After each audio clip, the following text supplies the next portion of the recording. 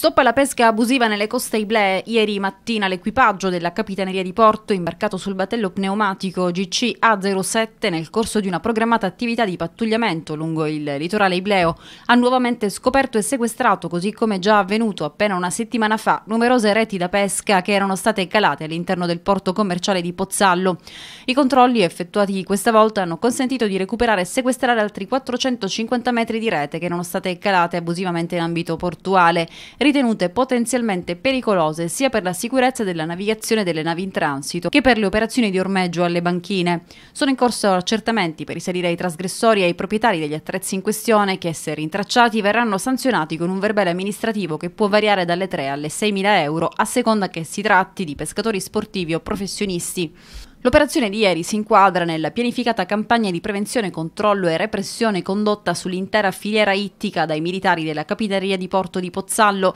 che quotidianamente pattugliano sia via mare che via terra tutto il litorale ibleo al fine di scongiurare la pesca abusiva, la cattura di specie sotto misura, l'uso di attrezzi da pesca non conformi alle normative nazionali e comunitarie vigenti, nonché l'attività di pesca effettuata in zone o tempi vietati.